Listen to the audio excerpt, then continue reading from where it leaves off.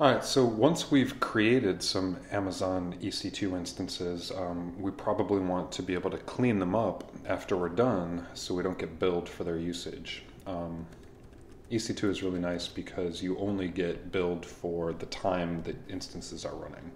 Um, so what I'm going to do is use the list command to list the instances that I currently have running. Um, and anything that's currently in a state of running, we can terminate, um, which will prevent us from getting billed.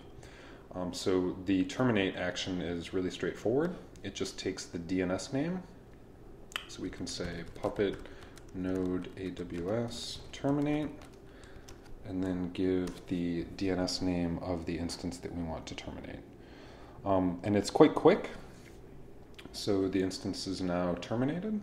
And if we do another listing, we can see um, that it's shutting down and eventually it will go into a state of terminated, um, just like this other instance that I destroyed earlier today.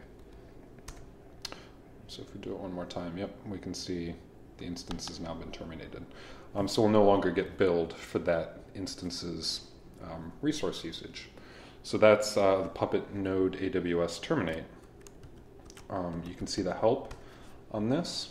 And just like all of the uh, Amazon actions, um, terminate is specific to a geographic region. Um, so we were defaulting to US East, which is where that was happening.